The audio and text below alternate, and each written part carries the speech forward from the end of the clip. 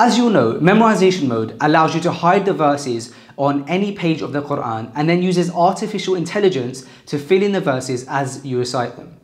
With memorization mistake detection, the AI will pick up your memorization mistakes as you make them.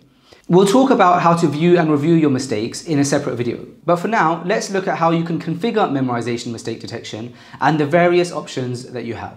Firstly, you'll want to make sure that memorization mistake detection is toggled on. Underneath that, you can decide whether a sound is heard when you make a mistake and the sound effect that you wish to hear. You can also decide if you want your device to vibrate to alert you of a mistake. The final mistake option then, where it says don't progress until it's fixed, if toggled on, means that the app will stop advancing through the chapter you're reciting until you have recited the error correctly. You can also choose to hide words. This option can also be found on your Mus'haf page. By default, ayah markers remain on the page when you hide the words, but some users prefer to remove the ayah markers to further test their memorization. The final memorization mistake detection option then is called resumable sessions. By toggling this on, you can pause your session if, for example, you have to attend to something but you don't want to lose your position or end your session entirely.